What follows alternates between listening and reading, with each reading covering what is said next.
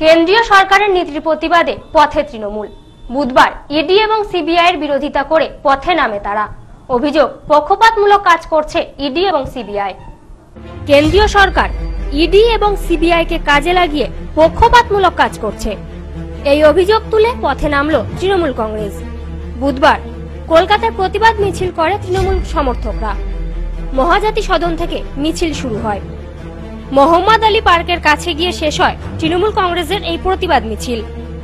উত্তর কলকাতা যুব তৃণমূল কংগ্রেসের পক্ষ থেকে এই মিছিলের আয়োজন করা হয়। আমি আমি বাংলার মানুষের সঙ্গে বিশ্বাসঘাত করেছি। আমি অনেক টাকা তুলেছি।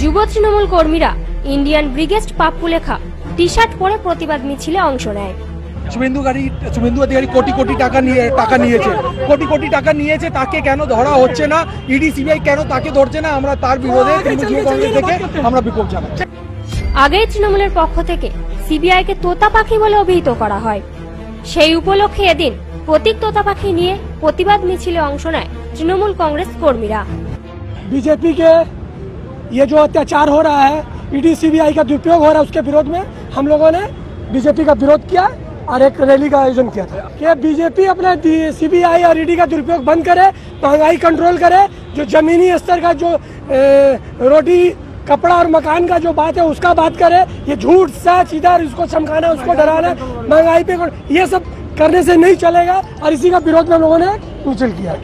ब्यूरो रिपोर्ट, न्यूज़ नमस्लैंड कोलकाता।